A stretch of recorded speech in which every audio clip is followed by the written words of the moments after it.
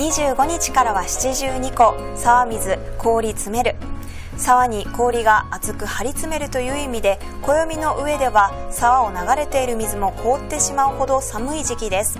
そのため低い気温の記録が出やすい時期でもあります。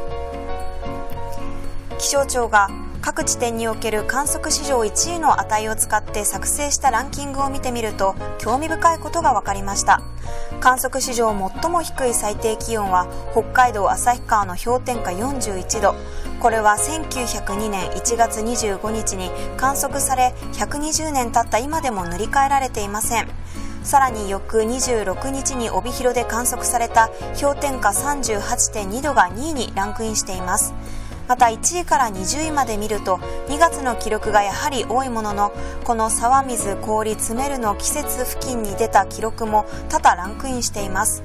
また最高気温が低いランキングも見ていくと1位は富士山の氷点下32度2位は旭川の氷点下22.5度となっています。こちらのランキングを見ると先ほどよりも沢水氷詰める付近の記録が多くなっていることがわかります。最低気温ではありませんがやはりこの時期は気温の記録が出やすいようです。その理由として寒気が流れ込みやすいことにあります。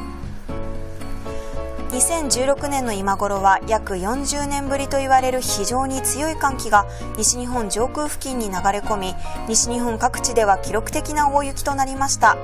特に島根県の瑞穂では観測史上1位となる102センチの積雪を記録。また同日沖縄県名護市で39年ぶりにみぞれを観測。奄美では115年ぶりに雪と記録続きの日となりました。